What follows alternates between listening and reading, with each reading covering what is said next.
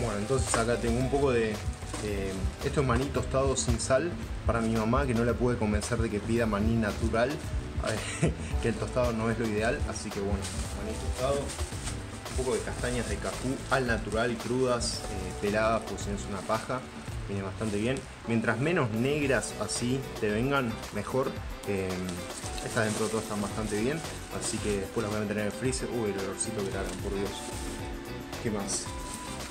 Nueces pecan también tiene una cantidad de antioxidantes gigantes. De vuelta, si las puedes pedir mariposas y no partidas, obviamente te va a salir un poquito más caro, pero es mejor para que se conserven mejor las propiedades, así que para tenerlo en cuenta.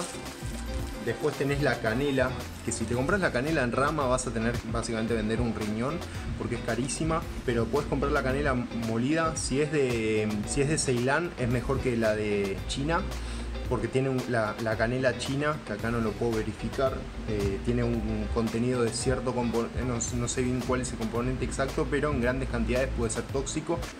Si no la comes en cantidades no, te hace mal. Semillas de girasol, la verdad son las semillas más ricas que conozco, que te puedes comer solas. Después están las de zapallo, también son muy ricas, pero las de girasol son una fucking fiesta. Tampoco te vas a comprar las pipas, ¿no? Porque las de chía, las de lino y todas esas son como... Para comer por sí solas está más complicado. Bueno, un par de almendras más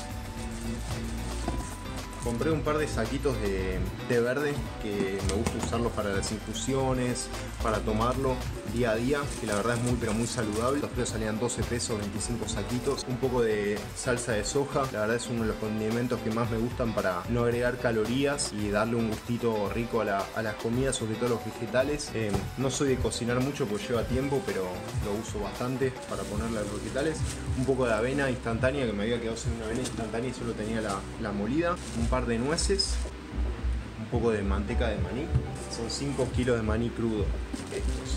Que obviamente si los, si podés comprar sin sal y crudos es la mejor elección porque guardan mejor las propiedades. Cada vez que calentás cualquier fruta seca le arruinas las propiedades, así que no es lo ideal. El cheto,